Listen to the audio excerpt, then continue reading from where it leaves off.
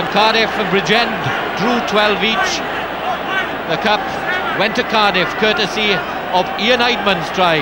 The prop of all people got the vital score.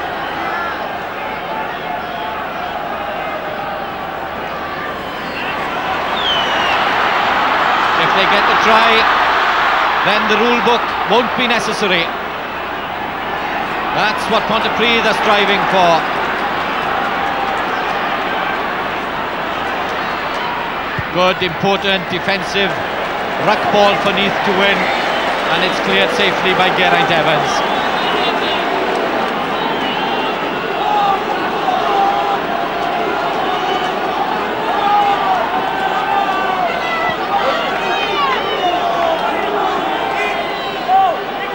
Seven minutes left on the watch. Pisani crouching, one on his back, Rowley behind him. Just the one jumper by Pontypridd. No prizes for guessing where this is going. Taken by Rowley. McIntosh driving. Bevan in the way slightly, but now it's out to the Ponty backs. David Manley. Manley takes them on.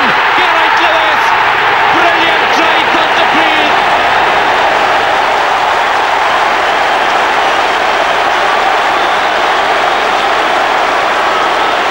Seventh in the cup run. Without any question, the most crucial. Jenkins moving the line. A missed pass there, and Cormac does well, even though right attack into Manley. He swerves out, and then that pass to Geraint was is superb, and he has the pace to go over for a classic try. And one feels so happy here for young David Manley. The nightmare of the first half mistake. He's redeemed himself. He's repaid the team. And On the left has profited. Cormac does well to get this pass in when he's half tackled.